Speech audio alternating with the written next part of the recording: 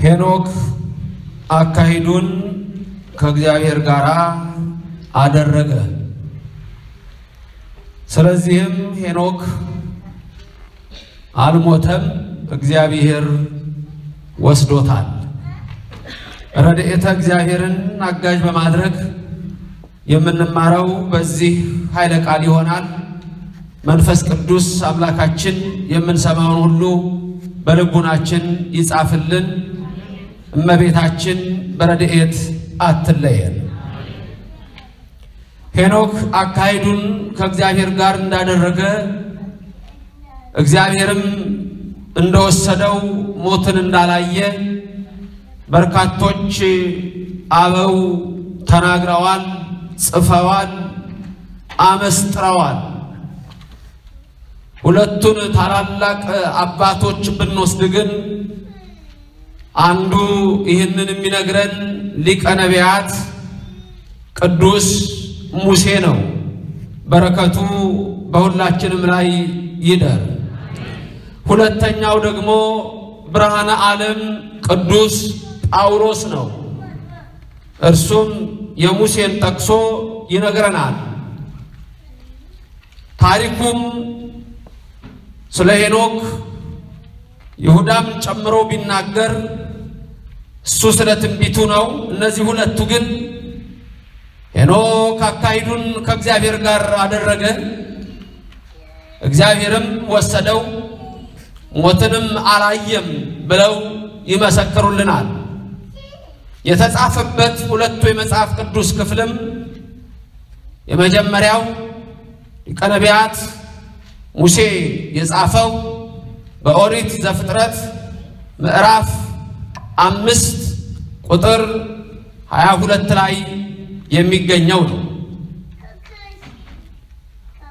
ብርሃነ ዓለም ቅዱስ ጳውሎስ ደግሞ ስለ እምነት ሲመሰክር ያለ እምነት እግዚአብሔርን ደስ ማሰኘት አይቻልም ብሎ በዕብራውያን መልእክቱ ምዕራፍ 11 ቁጥር አምስት ላይ ልክ እንደ ሙሴ ሄኖክ አካሂዱን ከእግዚአብሔር ጋር አደረገ። ስለዚህ እግዚአብሔር ወሰደው። ሄኖክ አልተገኘም፣ ሞትንም አልሞተም ይላል። የጠራኋቸው የሦስቱም ቅዱሳን በረከት በሰሚዎቹ ሁሉ ላይ አድሮ ይኑር። ሌላው ቅዱስ ዮሐንስ በራእዩ ነው። ቅዱስ ዮሐንስ በራእዩ ሄኖክንና ኤልያስን በቴስቢ ዘገለአድ የነበረው ቀናኢው ኤልያስን ጨምሮ ሄኖክን ያመጣና ሁለቱ ወይራዎች ሁለቱ ዘይቶች ብሎ በመጨረሻው በዘመር ዘመስ ዘመር መያዎስ 666 በተባለው ሐሰተኛው ኢየሱስ ዘመን መጥተው ይሄ ሐሰተኛ ኢየሱስ ነው፣ እውነተኛው ኢየሱስ አይደለም፣ እሱ ለፍርድ ይመጣል፣ ይሄ ሐሰተኛ ነው ብለው ሲመሰክሩ እንደሚያስገድላቸው ያ እነሆ ከባህር የወጣው አውሬ ከምድርም የወጣው አውሬ እንደዚሁም ደግሞ ከውስጣቸው የወጡት የጦርነት መንፈስ የሚያውጁ እንደ እንቁራሪት አይነት መንፈስ ያላቸው አጋንንት ተዋግተው ሄኖክና ኤልያስን ያስገድሏቸዋል። ዓለም ደስ ይለዋል። እንኳን ተገደሉልን። እነዚህ ሃይማኖት እያሉ አስቸግረውን ነበር። ስርዓት እያሉ አስቸግረውን ነበር። ጾም ጸሎት እያሉ አስቸግረውን ነበር። አንዲት ሃይማኖት እያሉ አስቸግረውን ነበር። እንኳን ተገደሉ ብለው የዓለም ነገስታት የደስታ መልእክት ይለዋወጣሉ። ዘመር ዘመስ ዘመር መያዋኦስም አስከሬናቸው እንዳይቀበር ብሎ በዛች ቅድስቲቱ ከተማ በተባለች በአሁኑቱ ኢየሩሳሌም በምስጢር ግን ሰዶምና ግብፅ በተባለችው በዛሬዋ ኢየሩሳሌም አስከሬናቸው እንዲወድቅ ያደርጋል። አንድ ቀን አደረ፣ ሁለት ቀን አደረ፣ ሶስት ቀን አደረ። ዓለም ሁሉ ደስ አለው። በሦስተኛው ቀን ግን እኩለ ቀን ላይ ከሰማይ ድምፅ መጣ። እናንተ የልዑል ባሪያዎች ሄኖክ፣ ኤልያስ ተነሱ አላቸው። ሁለቱም ተነስተው ዓለም እያየ ወደ ሰማይ ወጡ። ያኔ ዓለም በድብልቅልቅ ተመታች፣ ፍጻሜዋም ቀረበ ይላል። ሄኖክ ምንም ቢወሰድ መጥቶ ሞትን በዘመን ዘመስ ዘመርዋያ ውስጥ ዘመን ይቀምሳል። ኤልያስም እንዲሁ።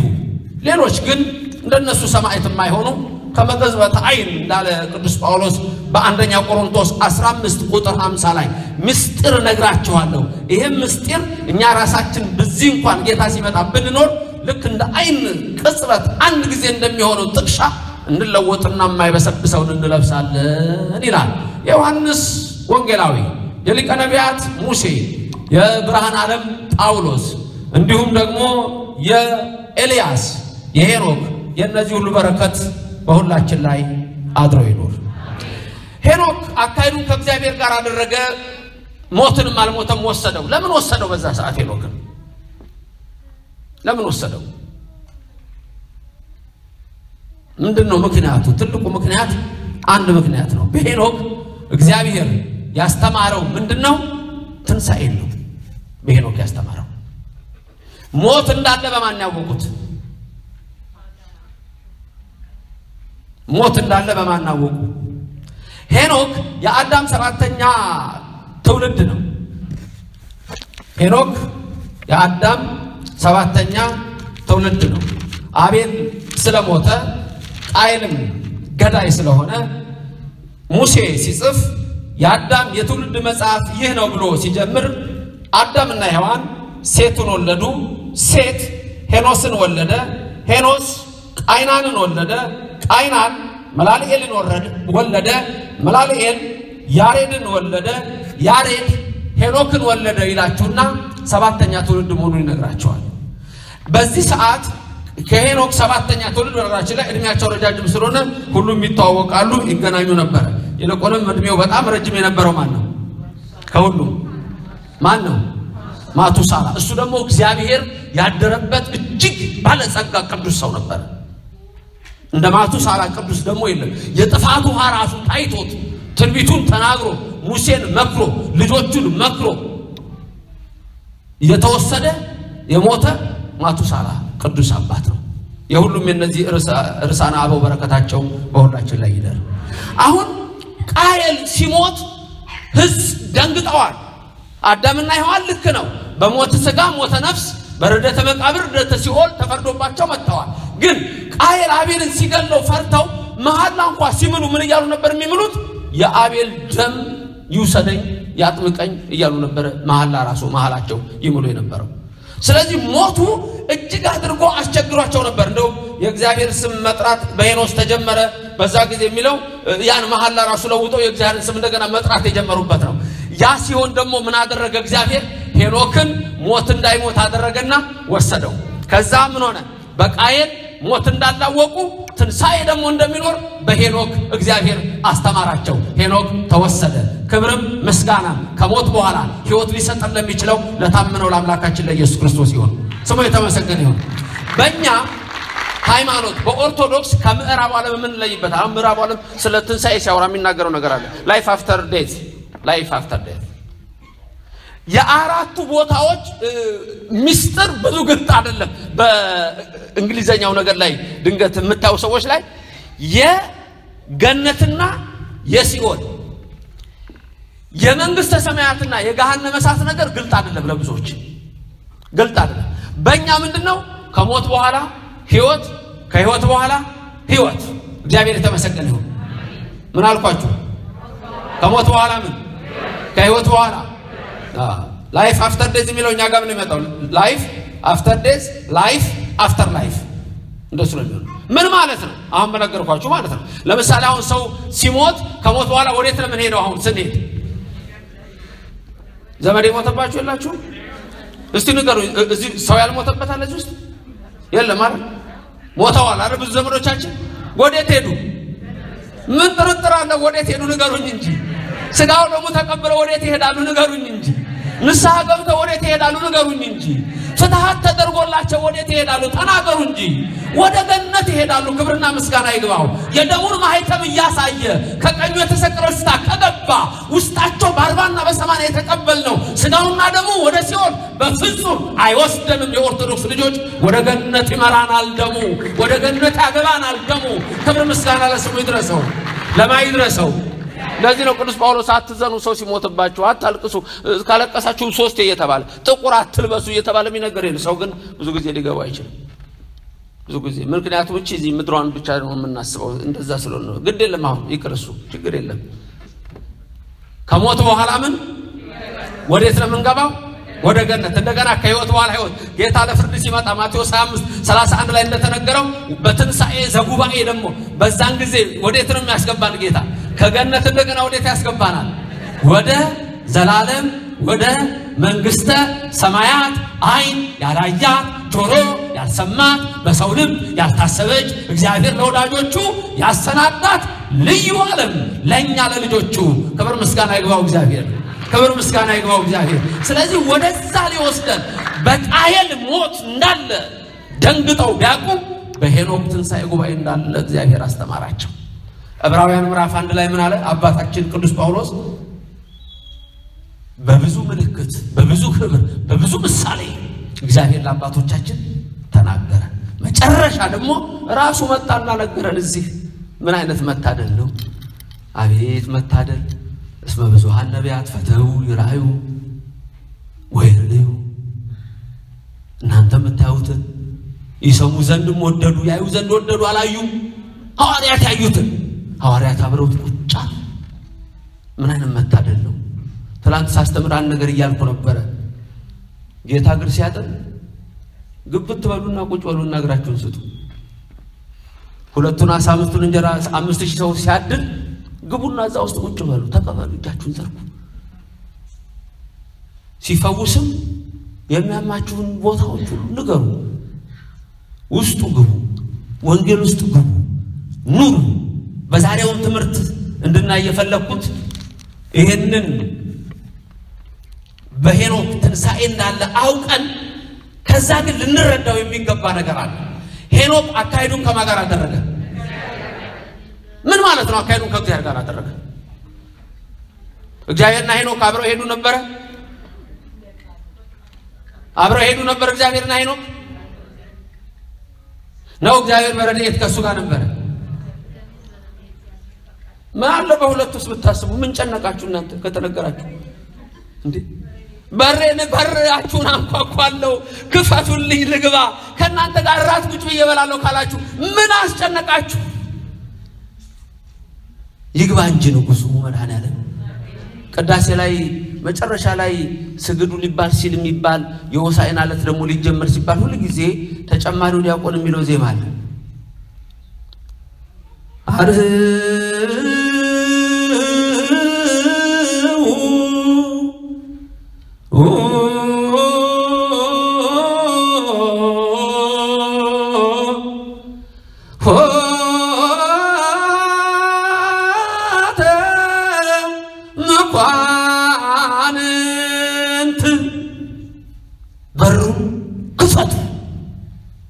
የክብር ንጉሥ ይግባ። የሆሳዕና ዕለት ማኑ ዝንቱት ማን ነው የክብር ንጉሥ?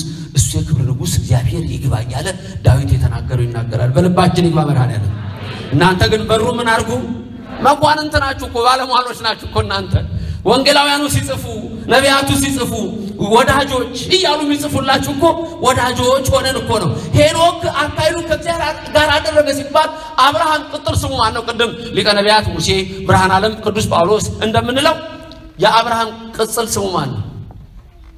የአብርሃም ቅጽል ስም የአብርሃም ቅጽል ስም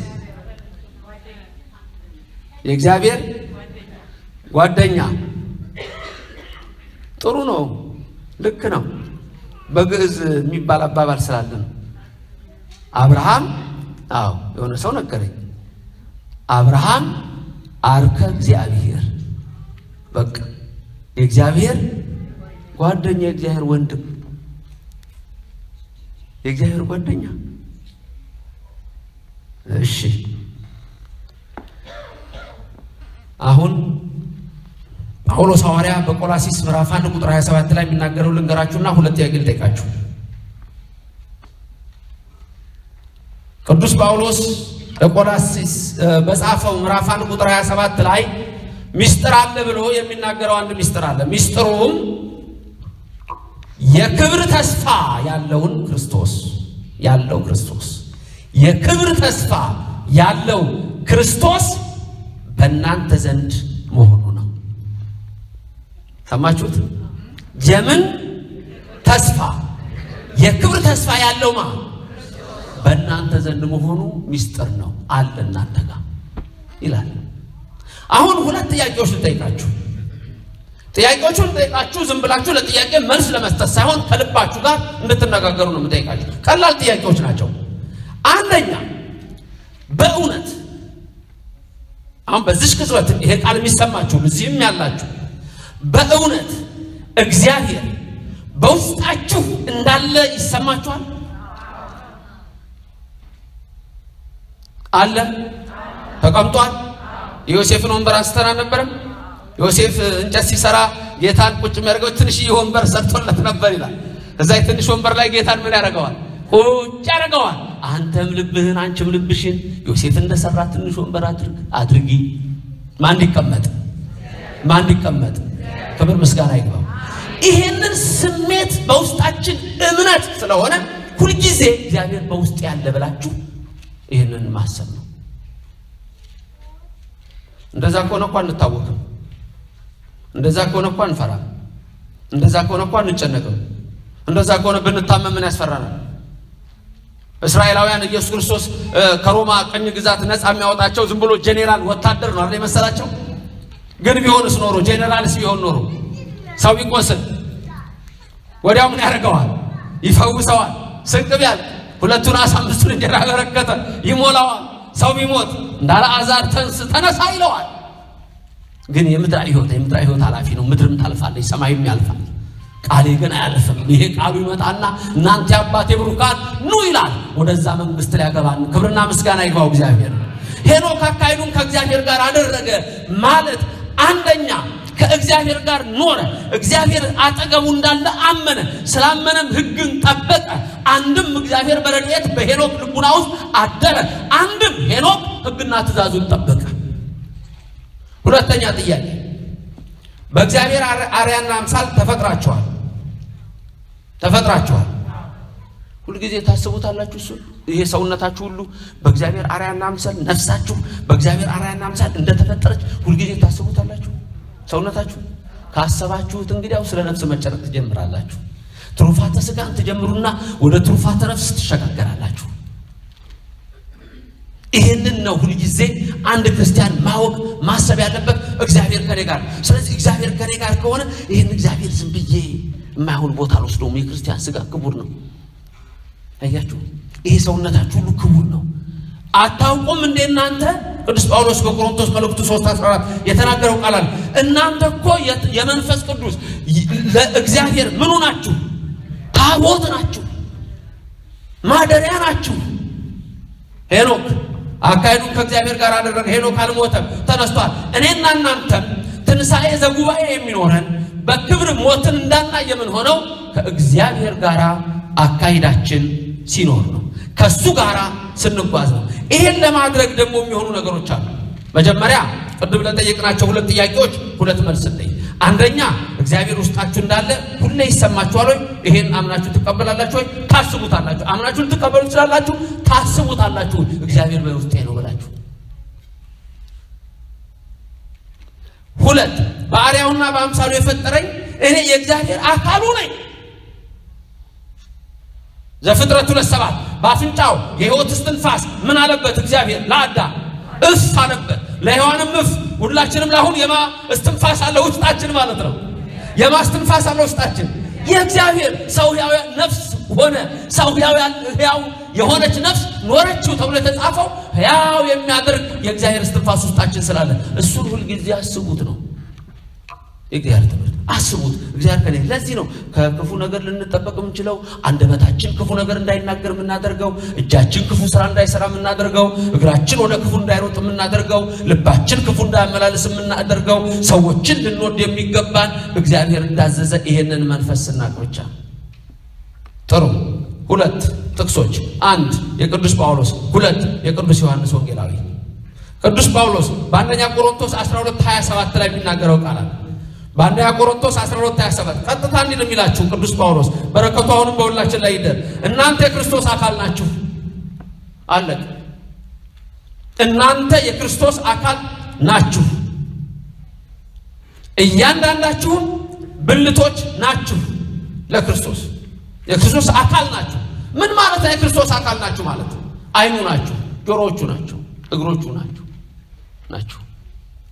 የእናንተ ፍቅር፣ የእናንተ አንድነት፣ የእናንተ ህብረት በእናንተ ውስጥ ስላለ ክርስቶስ እስትንፋሱን እፍ ብሎ የፈጠረን ክርስቶስ ስጋውና ደሙን የሰጠን ክርስቶስ በውስጣችን ስላለ እኛ የክርስቶስ አካል ነን። አንድም እሱ ክርስቶስ ተብሎ ክርስቶስ ክርስቶስ ክርስቲያኖች አሰኝቶናል። አለቀ። ክርስቶስ ተብሎ ምን አሰኘን? ክርስቲያን። ወልድ ተባለና ምን አሰኘን? ልጅ ተብሎ ምን አሰኘን? ልጆች። በወልድ ውሉድ ተሰኘን፣ በክርስቶስ ክርስቲያን ተሰኘን ተሰየምን። ሐዋርያቱን በተለይ ምን ይላቸዋል? ስዩማን ወጽዋዓን ይላቸዋል ቅዱስ ይሁዳ የተሾሙ የተጠሩ ይላል። የተሾሙ የሚለው ሾሟቸዋል፣ ስልጣንን ሰጥቷቸዋል። የተጠሩ ማለት ደግሞ ኑ ተከተሉኝ፣ እኔን ምሰሉ ብሎ ጠርቷቸዋል። ስለዚህ እናንተ የክርስቶስ አካል ናችሁ፣ እያንዳንዳችሁ ብልቶች ናችሁ። እንዲህ ብላችሁ መናገር ትችላላችሁ በድፍረት እኔ የክርስቶስ አካል ነኝ። ተናገሩ።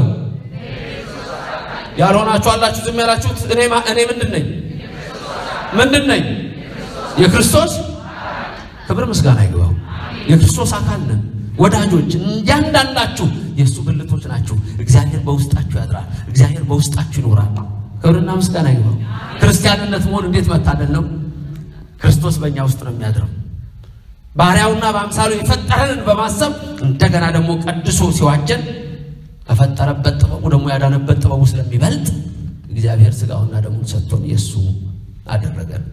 ቅዱስ ዮሐንስም እንዲህ ይለናል፣ ልጆች ሆይ ቅዱስ ዮሐንስ ደግሞ አባታችን ልጆች ሆይ ይላችኋል። ልጆች ሆይ እናንተ ከእግዚአብሔር ናችሁ፣ ከእግዚአብሔር ናችሁ ልጆች፣ ከሌላ አይደላችሁም። ደግሞም አሸንፋችኋል፣ አሸንፋችኋል። አሸንፋችሁ ታውቃላችሁ? አሸንፎ የሚያውቅ ማሸነፍ በቀላሉ ልንገራችሁ፣ እንዴት ማሸነፍ እንዴት እንደሆነ ድንገት ጾም ልጾም ብላችሁ ልብላ ብላችሁ እንደፈለገ ይሁን ይቅርብኝ ብላችሁ ከተዋችሁ አሸነፋችሁ። በትንሿ በትንሿ ጸሎት እንደው ልጸልዩ ብላችሁ እንዲቆማችሁ ሰይጣን ይመጣና ምን ይልሃል መሰል ደግሞ አንተ ኃጢአተኛ የእግዚአብሔር መጽሐፍ መንካት ትችላለህ አንተ ይልሃል። ተመልከቱ፣ የሰይጣን ሀሳቡ ጸሎት ማስቀረት ብቻ ነው። ተነስተሽ ቤተክርስቲያን ሂጅ ወይ ልሳለም ብለሽ ስታስቢ አንቺ ኃጢአተኛ ደግሞ ምን ሆነሽ ነው ቤተክርስቲያን ደግሞ የምትሄጂው? ዛሬ ልታረክሽ ነው የምትሄጂው። አሁን ይህ ሀሳብ ቤተ ክርስቲያን ሄዶ የሚረክስ የለም የሚቀደስ ነው እንጂ። ክብር ምስጋና ይግባው እግዚአብሔር፣ ክብር ምስጋና ይግባው እግዚአብሔር። ብዙ ጊዜ ቤተ ክርስቲያን ስትሄዱ ምን ልታደርጉ ነው የምትሄዱት? ልትቀድሱ፣ ልታስቀድሱ፣ ልትቀድሱ፣ ልታስቀድሱ። አቤት ምእመንን ነው የጠየኩት፣ ካህናቱን አይደለም። ልትቀድሱ ነው የምትሄዱት፣ ልታስቀድሱ ነው የምትሄዱት። ብዙ መልስ ሰምቻለሁ። ልንቀድስ ለምን ሄደው የምትሉ ልንቀድስ ለምን ሄደው የምትሉ ልንቀድስ ለምን ሄደው ልናስቀድስ ለምን ሄደው? እሺ ለሁለቱም ነው የምንሄደው። በጣም ጥሩ። ለሁለቱ ነው የምትሄዱት። ለሁለቱ ነው የምትሄዱት።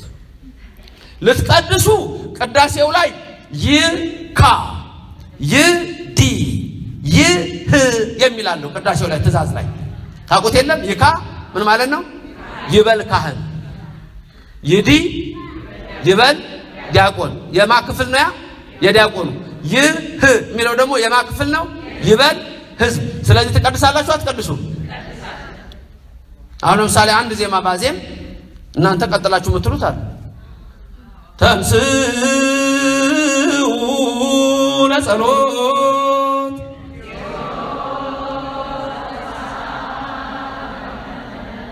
ሰላም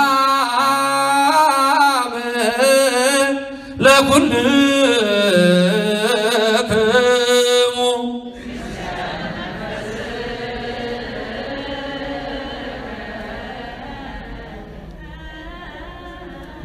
ቀደሳችሁ አልቀደሳችሁም? ተ- የእናንተን ክፍል አላችሁ አላላችሁም? ማስቀደስስ ማስቀደስ ለስጋው ደግሞ የሚሆነውን ግብር ቋጦ መሄድ፣ ሞጋዱን ፈልጦ መሄድ፣ ዘቢቡን ይዞ መሄድ፣ ሻማውን ይዞ መሄድ፣ ጧፉን ይዞ መሄድ ማስቀደስ ሲሆን፣ ሚስጥሩ ግን ሰውነታችሁን ደግሞ አስቀድሳችሁ ትመለሳላችሁ። እየተቀደሰ እየተቀደሰ እየታደሰ ስጋ እየተቀደሰ ነፍስ እየተቀደሰ መንፈስም እየተቀደሰ ጸሎቱ ላይ እንደው ምን ይላል? ለቀድሶተ ስጋ ወነፍስ ወመንፈስ እንደሱ ነው መጋቤ ብሎ እንዲህ ነው የሚለው ራሱ እኛ ራሳችን ሁሉ ካህኑም እናንተ ተቀድሰን ነው የምንሄደው። ትቀድሳላችሁ፣ ተቀድሳችሁ ትሄዳላችሁ። ቀድሶን ለዘላለም በሕይወቱ የሚያኖረን ትንሣኤ ዘጉባኤ ላይ በቀኙ የሚያቆመን ክርስቶስ ክብር ምስጋና ይግባው።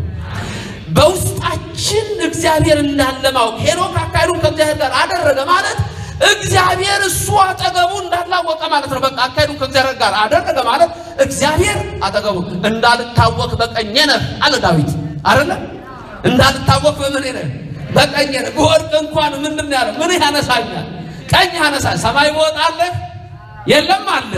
ወደ ጥልቁ በወርድ የለህም አለ አለ። የንስር ክንፍ ቢሰጠኝ ከአድማስ ጫፍ ብሄድ ለምን እስከ ናጌብ አልሄድም? አንተ በዚያ አለህ። ክብር ምስጋና ይግባው። ክብር ምስጋና ይግባው። ክብር ምስጋና ይግባው።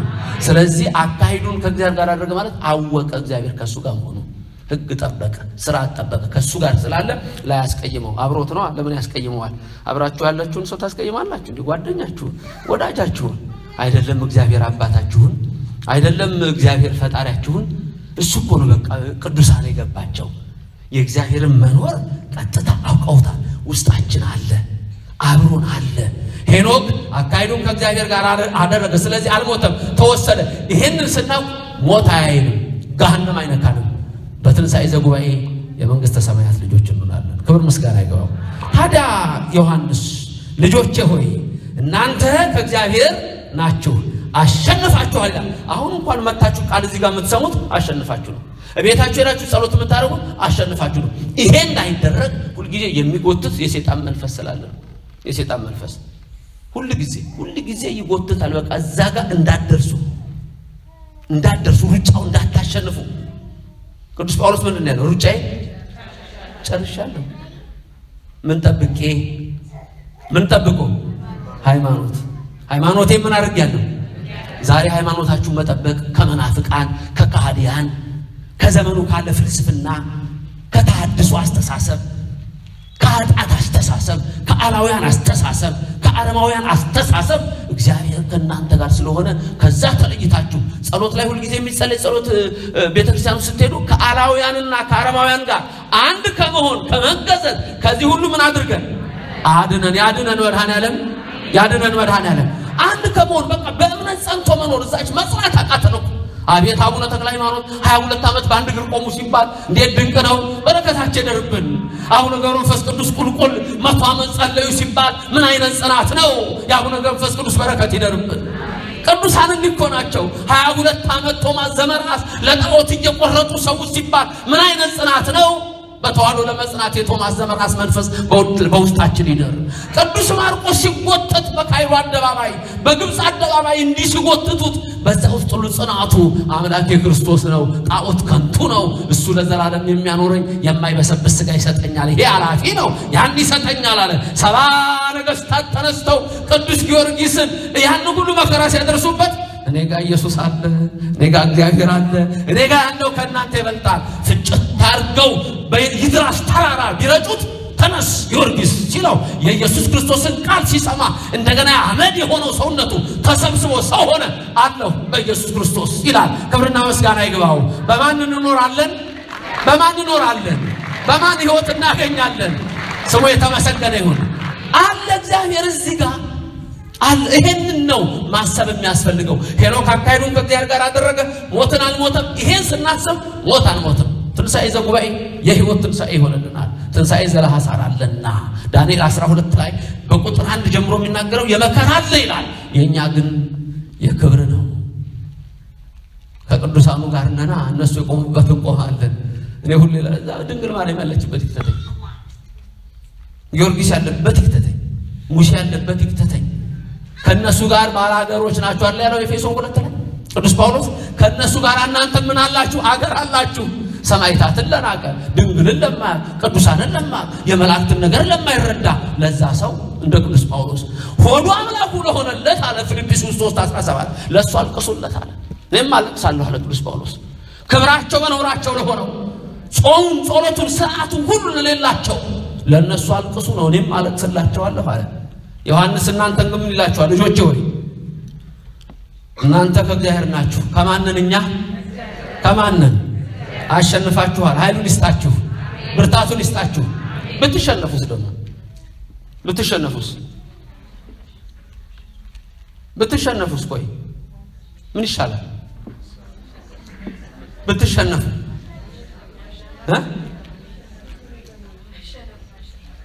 እንደገና ምን ታደርጋላችሁ? ምን ታደርጋላችሁ? አታሸንፉ። ስግደት ስትሰግዱ ልንገራችሁ። ስግደት ስንሰግድ መጀመሪያ ስንደፋ ምን ሆንን ማለት ነው? ከምድር አፈር አበጀህን። ተመልሰን ስንሰግድስ አፈርነንና ወደ አፈር ሞት እንሞታለን፣ ሲኦል እንገባለን። ሰግደን ነው የምንቀረው? ቆመን ነው የምንቀረው?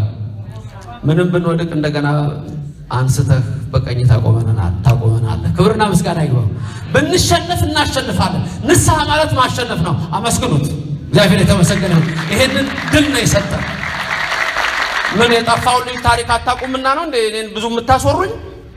የጠፋው ልጅ ታሪክ አታውቁም እንዴ? ንብረቱን ይዞ ሄዶ ልም አድርጎ አጥፍቶ ከጋለሞቶች ጋር ጨርሶ ከአመንዝሮች ጋር በትኖ የሚበላው ቢያጣ መጨረሻ የሚያስጠጋው ቢያጣ ወደ አባቴ እንደገና ልመለስ እንደ ልጅ አይደለም እንደ ባለሟሉ እንደ ባሪያው ያድርገኝ ብሎ ቢመጣ አባትየው ዞር በላለው እንዴ? ገና ከሩቅ ሳይው እጁን ዘርግቶ ልጄ ጠፍቶ ነበር ተገኘ፣ ልጄ ሞቶ ነበር ሕያው ሆነ፣ አምጡት፣ እጠቡት፣ ለእግሩ ጫማ፣ ለጣቱ ቀለበት፣ ለሰውነቱ ነጭ ልብስ አልብሱት አለ። ቀለበት ሃይማኖት ነው፣ መታጠቡ ጥምቀት ነው። ነጩ ልብስ አዲስ የመንፈስ ቅዱስ ጸጋ እንደገና የሚያድርበት በንስሐ ሕይወት መመለስ ነው። የእኛም ሕይወት ብንጠፋ እንኳን አንጠፋም፣ ቀርተን ተመልሰን የእሱ እንሆናለን። ጊዜዋ ግን አሁን ናት። ክብርና ምስጋና ለቸሩ ለአምላካችን ለኢየሱስ ክርስቶስ ይሁን። አሸንፋችኋል፣ አሸንፋችኋል። ሁልጊዜ ግን አሸናፊ መሆን እሱ ነው እግዚአብሔር የሚፈልገው። ለምን? እሱ ራሱ አሸናፊ ስለሆነ ከእናንተ ጋር እስካለ ድረስ የሚፈታተን የሚያንገዳግድ እንኳ ነገር ቢመጣ አይተዋችሁም። የአቅማችሁን እንድትሰሩ ይተዋችኋል። ሂዱ ድንጋዩን አንሱለት ከአልዓዛር መቃብር ላይ እሱን ያዛችኋል። ከአልዓዛር መቃብር ላይ ድንጋዩ ምን አድርጉ ይላችኋል? አንሱ። አልዓዛርን ግን አንሱ ይላችኋል? አይ አይልም። የእናንተ ድርሻ እሷን ስሩ። የምን መስነፍ ነው? የምን ዝም ብሎ መቀመጥ ነው እንዴ? ትንሽ ቆም ማለት፣ ትንሽ መንበርከክ፣ ትንሽ መጸለይ፣ ጸበል መጠመቅ፣ እግዚአብሔርን ማሰብ። እነግራችኋለሁ ሰባት ነገሮች ምን እንደምታደርጉ ትሩፋተ ሥጋ የትሩፋተ ልብ ከዛ አልፋ ወደ ትሩፋተ ነፍስ የምታመጣዋን እሷን ነግሬ ነው ትምህርቴን የማቆመው። ግን አሸንፉ፣ እናሸንፍ። መሸነፍ የለም።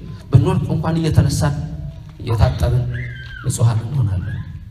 እግዚአብሔር ከሁላችን ጋር ይሁን። አሸንፋችኋል ልጆቼ። ቅዱስ ዮሐንስ በዓለም ካለው ይልቅ በእናንተ ያለው ታላቅ ነውና፣ በቃ ይሄ ነው። ልጆቼ ሆይ እናንተ ከእግዚአብሔር ናችሁ፣ አሸንፋችኋል።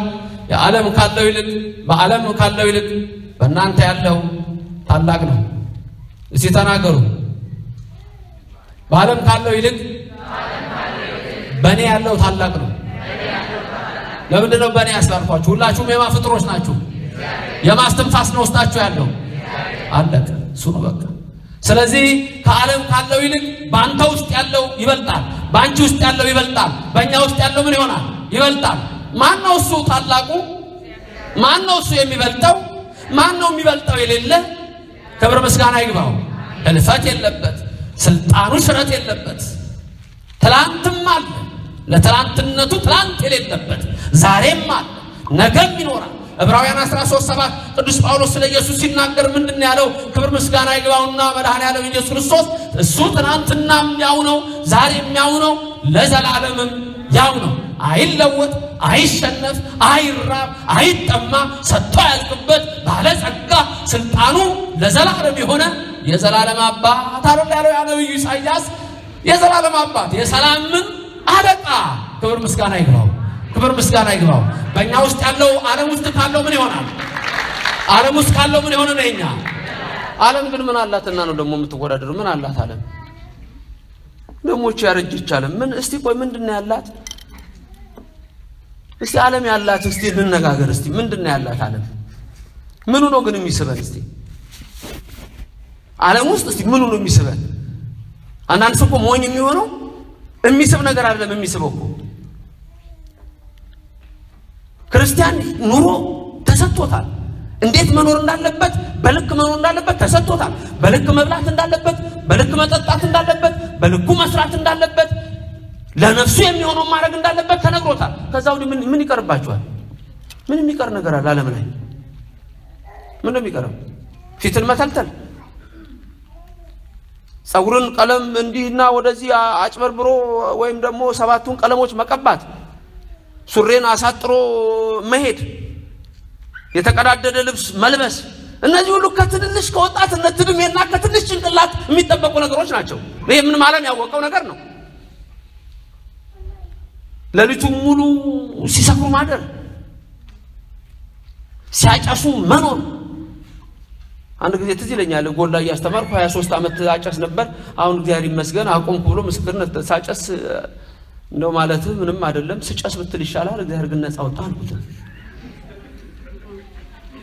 ምንድን ነው የሽሻው ዓለም ላይ ይሄ ነው ይሄ ነው የሚያብለጨልጨው።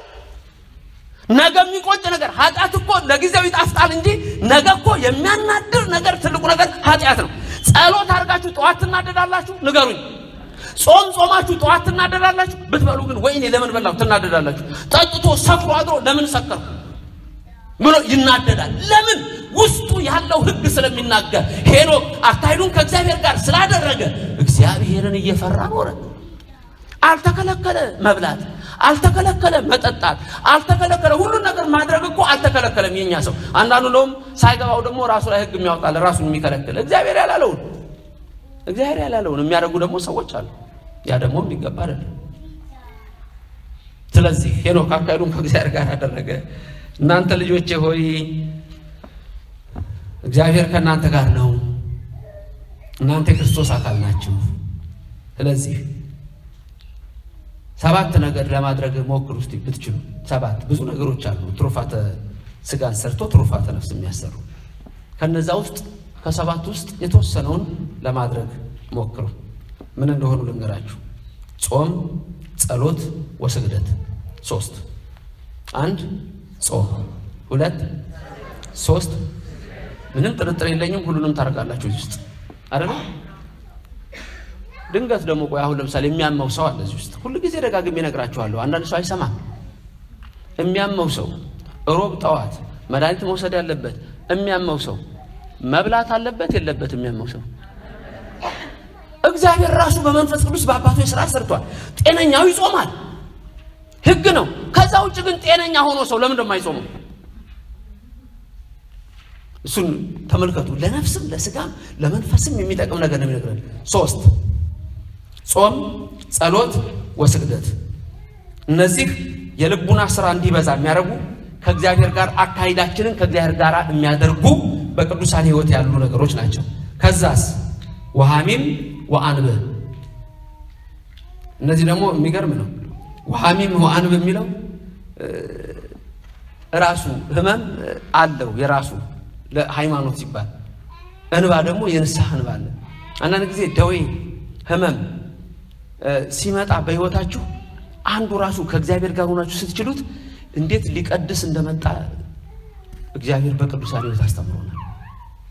እንዴት ሊያጠነክር እንደሚመጣ መቻሉን እሱ ይሰጣችኋል። ግድ የላችሁም አናንያ አዛርያ ሚሳኤል እሳት ውስጥ ሲቆሙ እኮ እሳቱ አላቃጠላቸው ስለዚህ እግዚአብሔር ለበረከት አድርገው ብላችሁ ሁሉንም መቀበል እንድትችሉ። አሚን ዋንም ራሱ የራሱ የሆነ መከራ አለው ብዙ ፈተና አለው። ክርስትና እሷንም ማድረግ መቆሙ መድከም ነው ሀሚም ነው። እጅ መዘርጋቱ ሀሚም ሊሆን ይችላል። አንብ ደግሞ ማልቀስ። ወንድማቸውን እስከሚያስነሳላቸው ድረስ በዛች በቢታንያ እንዳለቀሱ እንደ ማርያምና እንደ ማርታ አልቅስ ለኃጢአት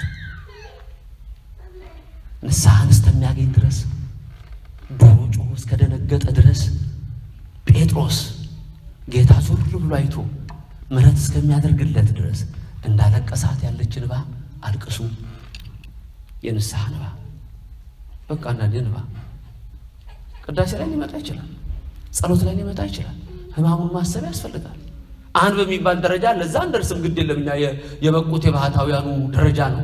እዛ ሲደርሱ እነሱ እንባቸው አቋርጥም። ቀራኔው ላይ እንደተሰቀለ እያዩት፣ እንደተቸነከረ እያዩት፣ የሸዋ አክሊል እንደደፋ እያዩት፣ እጆቹ እንደተቸነከረው አይተው ከኋላ ከጀርባ ወቅተውት ደረቱ በደረቱ ሲወጣ እያዩ በደረቱ የወጉት በጀርባ ሲወጣ እያዩ ሰውነቱ እንደዛ አንድ ሺህ አንድ ቦታ ቦታ ሲቆስል ስድስት ሺህ ስድስት መቶ ስልሳ ስድስት ሲገረፍ አሁንም ልባቸውን የሚሰማቸው ሰውነታቸውን የሚሰማቸው የሚደርሱበት ደረጃ አለ። ቅዱሳን እኛንም ቢሆን ያስለቅሰናል። ቅዱስ ዮሐንስ አፈወርቅ ምንድን ያለው? በረከቱ ይደርብን። የምትወዱት ሰዎች ሁሉ አልቅሱለት ይላል። አምስት ነገሮች ጾም፣ ጸሎት፣ ስግደት፣ ሐሚም፣ መከራ መቀበል፣ አንብብ፣ የንስሐ እንባ። አምስት ስድስት ወጸሎታተ ሰዓታት ብትችሉ የሰባቱ ሰዓት ጸሎቶች ካልቻላችሁ ነፍስ አባቶቻችሁ ሊጸልዩላችሁ የሚያስቡት አንድም በተቻላችሁ አቅም ሁሉ የምትጸልዩት ጸሎት በተለያየ ቦታ የምትጸልዩት ጸሎት ስድስተኛው እሱ ነው። ሰባተኛው አሁንም የምታደርጉት ወደፊትም ልታደርጉት የሚገባ ደግሞ ወውስተ ትምህርት አኤሩግ ከእውነተኛ መምህራን ቃል መስማት ከእውነተኛ መምህራን። አንዳንድ ሰዎች ደስ ይለኛል ሲናገሩ ብሎ የዛ የፈረንጁ ሰባኪ ብሎ የሚሰማ ሰው አለ። አይሰራም። አንድ በርሜል ውሃ ውስጥ አንድ ብልቃጥ መርዝ ካለች ይገላችኋል። አይደለም የሌላውን ከኦርቶዶክስ ውጭ ያለውን አይደለም፣ ኦርቶዶክስ ውስጥ የምትሰሙት መምህር የተማረ መምህር መሆን አለበት። ከእግዚአብሔር ጋር በሆነ መንፈስ ነው ልትማሩት የሚገባው። ሄኖክ አካሄዱን ከእግዚአብሔር ጋር አደረገ። የኤማሁስ ሰዎች ግን ምን ነበር ያደረጉት? በሉቃስ ወንጌል 24 13 ጌታ የሚነሳው ኢየሩሳሌም፣ እነሱ የነበሩት ወዴት ነበር? ወደ ኤማሁስ። ግን የሚያወሩት ወሬ ሳበላቸው፣ ንጉሡን አመጣላቸው። ተራ ወሬ አላወሩማ። ዛሬ እኮ ብዙ ሰው እኮ የሚያወራው ተራ ወሬ እኮ ነው።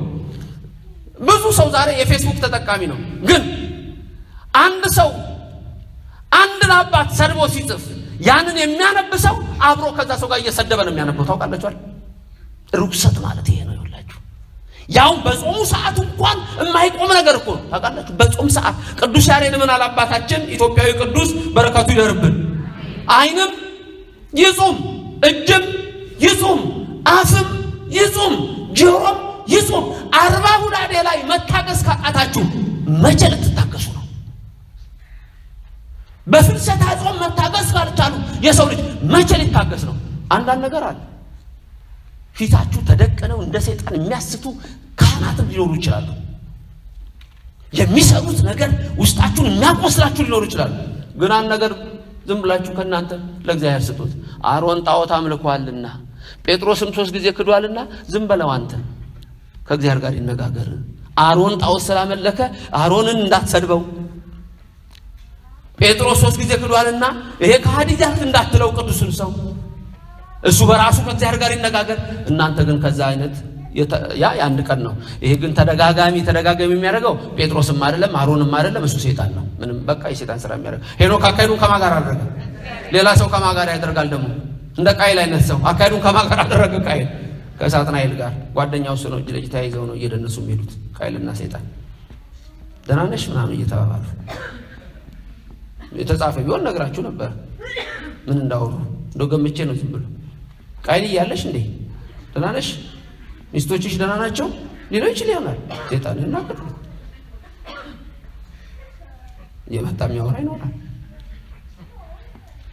ምን ይታወቃል? ዋትሳፕ እያለ ይመጣል። ምክንያቱም ዘስካይ ዛፕ ላይ ሌላ ነገር አለ።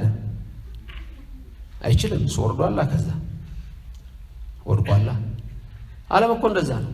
ውስጣችሁ እኮ ነው ጦርነቱ። ልብ ውስጥ እኮ ነው ጦርነቱ። እዚህ ውስጥ እኮ ነው ውጊያው። እዚህ ውስጥ ነው ውጊያው እኮ ጭንቅላት ውስጥ ነው ውጊያው። ልብ ውስጥ ነው ውጊያው እኮ። አካሄዳችንን ከእግዚአብሔር ካደረግን አይደለም እናንተ ውስጥ ያለው ሌላ ነው ተባልን እኮ። በቃ ዓለም የማያውቀው እኮ ታላቅ ነው። በእኛ ውስጥ ያለው ማን ነው ያለን የነገረን ቅዱስ ጳውሎስ፣ ቅዱስ ዮሐንስ ማን ነው በእኛ ውስጥ ያለው? ኢየሱስ ክርስቶስ። ለስም አጠራሩ ክብር ምስጋና ይግባው። የሰይጣን መንፈስ የወደቀ ይሁን። ስለዚህ የሰው ልጅ ሁለመናው ሊቀደስ ይገባዋል። ስለዚህ ሰባቱ ነገሮች ጾም፣ ጸሎት፣ ስግደት፣ ሐሚም ወአንብ ወጸሎታተ ሰዓታትና ወውስተ ትምህርት አይሩግ ከአበው መማር ከእውነተኛ መምህራን መማር ይህን ካረጋችሁ ከእግዚአብሔር ጋር ለመሄድ ትችላላችሁ ይለናል። ስለዚህ በሄኖክ እነሆ ትንሣኤ ሙታን እንዳላሳየን በቃየል ግን ሞት እንዳለ ነበር ያየነው። በውስጣችን ያለው ታላቅ ነው። አስተሳሰባችንን አስተካክል። እግዚአብሔር ከኛ ጋር ነው ስንል በእውነት እመኑት፣ በውስጣችን አለ። እኛ ውስጥ ያለው እግዚአብሔር ከሌላው ዓለም ካለ ይበልጣል። በውስጣችን ያለው ስጋውና ደሙ ራሱ ያ ክርስቶስ በውስጣችን አለ። እኛም የእሱ አካላት ናት። ታዲያ እግዚአብሔር ካለ ማን ይኖራል? ማን ይኖራል? እግዚአብሔር ካለ። አረ የሚኖሩ አሉ፣ ግድ የለም የሚኖሩ አሉ። አይደለም ቤተልሔም እስቲ ጌታን ሰብአ ሰገል ሲሰግዱለት ማ ነበረ? እመቤታችን አልነበረችም? ዮሴፍስ አልነበረም? ቀራንዮ ውጡ፣ ሂዱ ወደ ቀራንዮ ተራራ ላይ ውጡ፣ አምላካችሁ ሲሰቀል እዩ፣ ከመስቀሉ ስርም ተመልከቱ። ያችን የሐዘን እናት አታዋትም? ቅዱስ ዮሐንስን ሳታዩትም? ሂዱ አምስቱን እንጀራ ሁለቱን ዓሣ አበርክቶ ሲመግብ ተመልከቱት። ለማን ነበረ ባርኮ የሰጠው? ለደቀ መዛሙርቱ አልነበረም? ዶኪማስ ቤት ግቡ እስቲ ሰርጉ ውስጥ እዛ ሰርጉ ላይ እየተዘፈነ ነው፣ ጠጅ እየተጠጣ ነው፣ ጠላ እየተጠጣ ነው ሰርጉ ላይ እንግዳው ተሰብስቧል። ሰው መጥቷል። አቤት የዛሬ ሰርግ ይላል ወጣ ይላል። እረ ኢየሱስም መጥቷል እኮ ዛሬ እኮ ብዙ ተወርቷል። ማርያም እኮ አለች፣ ድንግል ማርያም እዛ ውስጥ ናት። እንዲህ ያሉ እኮ ሐዋርያቱ ሁሉ እኮ አሉ። አቤት እንደው እነ ዮካን ዶኪማስ እንዴት ታድለዋል። የመጡበት ምክንያት አለ። ኢየሱስ ክርስቶስ ወደ ሰርጉ ቤት የመጣው ወይን ልጠጣ ሳይሆን ውሃን ወደ ወይን ጠጅ ለውጦ ሊሰጣቸው ነው። ክብር ምስጋና ይግባው መድኃኔዓለም። እሱ ዛሬም በሕይወታችን ወደ ቤታችን ሲገባ ወገኖቼ ቅዱሳኑም አብረው ይገባሉ። መላእክት አብረው ይገባሉ። ሰማዕታት አብረው ይገባሉ። ይህ የኦርቶዶክስ ትምህርት ነው። ሄኖክ አካሄዱን ከእግዚአብሔር ጋር አደረገ፣ አልተገኘም። ማወሰደው እግዚአብሔር ወሰደው። እኛም አካሄዳችንን ከእግዚአብሔር ጋር ስናደርግ ቅዱሳን መላእክት ይከቡናል። ቅዱሳን በበረከት ከእኛ ጋር ይሆናሉ። ጳውሎስ ሐዋርያ እንደተናገረ በዕብራውያን 12 ቁጥር አንድ ላይ አንዳች ነገር እንዳያስጨንቃችሁ አንዳች ነገር እንዳያስፈራችሁ አንዳች ነገር አያውካችሁ። እነዚህን የመሳሰሉ አባዋለ ስማቸውን እየጠራ በዕብራውያን አንድ ላይ ዘርዝሮ ከእሳት ስለት እነሆ ከእሳት ያመለጡ ከስለት የዳኑ ለአራዊት ተጥለው አራዊቱ የሰገዱላቸው የነበልባልን ኃይል ያጠፉ የጠላትን ኃይል ድል የመቱ እነ ጌዴዎን ኃይለኞች፣ እነ ሶምሶን ብርቶች፣ እነ ዮፍታሄ ጀግናዎች፣ እነ ዲቦራ ጥበበኞች፣ እነ አስቴር፣ እነ ዮዲ ኧረ ሌሎቹም እነ አናንያ፣ አዛርያ፣ ሚሳኤል ከሰዓት የወጡት ነቢያቱ ቅዱሳኑ ቀይ ባህርን ከፍለው ያለፉት እነ ሙሴ ይሄም ሄኖክ ሌሎችም አበው እንደ ደመና ከከበቡን ምንም አያስፈራንም። ህመም ያስፈራንም? ህመም አያስፈራንም። ደዌ ትፈራላችሁ? ደዌ፣ ህማም፣ መከራ፣ ስቃይ፣ ሐዘን፣ መጉደል፣ መውደቅ፣ ጓደኛ ቢከዳ፣ ባል ቢከዳ፣ ሚስት ብትከዳ፣ ወላጅ ቢከዳ፣ ኑሮ ቢመር፣ ኑሮ አልጣፍጥ ቢል፣ ባዶ ቢቀር፣ ብቻችሁን ብትሆኑ ትፈራላችሁ? ማለ ከኛ ጋር ማከኛ ጋር አለ። እናቱስ የለችም? ማከኛ ጋር አለች። እመቤታችን አለች። መላእክት አሉ። ስለዚህ ጳውሎስ ሐዋርያ ምን አለ? የእምነታችሁን ፈጻሚ ኢየሱስ ክርስቶስን ተመልከቱት። ቀራንዮን እዩ። በቃ ስለ እናንተ ነው የሆነው። ደሙ የፈሰሰው ስለ እናንተ ነው። ሕያው ሊያደርጋችሁ ሕያውን በልታችሁ ትንሣኤ ያደረገው ስለ እናንተ ነው። ትንሣኤው ትንሣኤያችን ነው። ሄኖክ አካሄዱን ከማ ጋር አደረገ? ስለዚህ ሄኖክ አልሞተም። ባጭሩ አንሞትም። እግዚአብሔር ከኛ ጋር ነው። አንሞትም፣ ሕያዋን ነን። የመንግሥተ ሰማያት ልጆች ነን። አሜን። ድንግል ማርያም አትለየን። አሜን።